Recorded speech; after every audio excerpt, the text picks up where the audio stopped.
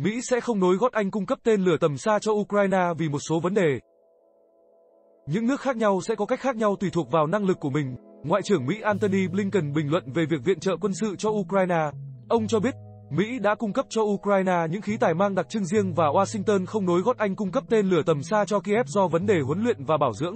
Ngoại trưởng Blinken nhấn mạnh, Washington cần đảm bảo rằng binh sĩ Ukraine được huấn luyện bài bản để có thể vận hành những hệ thống khí tài tinh vi hơn. Nếu họ không biết sử dụng, viện trợ cũng vô nghĩa. Nếu họ không biết cách bảo dưỡng, cung cấp khí tài cho họ, chúng có thể hỏng hóc chỉ sau thời gian ngắn, ông Blinken nói. Ông lưu ý thêm, Mỹ và các đồng minh đang nỗ lực từng ngày để đáp ứng nhu cầu của Ukraine. Cùng ngày, Bộ trưởng Quốc phòng Mỹ Lloyd Austin cho biết, Washington sẽ chuyển các xe tăng chiến đấu chủ lực M1 Abrams cho Ukraine vào đầu mùa thu.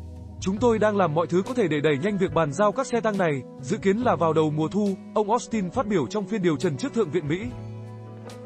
Những bình luận trên được đưa ra không lâu sau khi Bộ trưởng Quốc phòng Anh Ben Wallace xác nhận nước này đang cung cấp các tên lửa hành trình tầm xa Storm Shadow cho Kiev.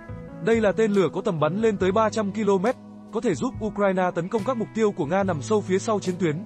London khẳng định, Kiev cam kết chỉ sử dụng vũ khí này trong phạm vi lãnh thổ. Nga cảnh báo việc đưa vũ khí đến Ukraine khiến các nước phương Tây trở thành một bên tham gia vào xung đột. Người phát ngôn Điện Kremlin Dmitry Peskov hôm qua cho biết, Nga sẽ có biện pháp đáp trả thích đáng động thái của Anh.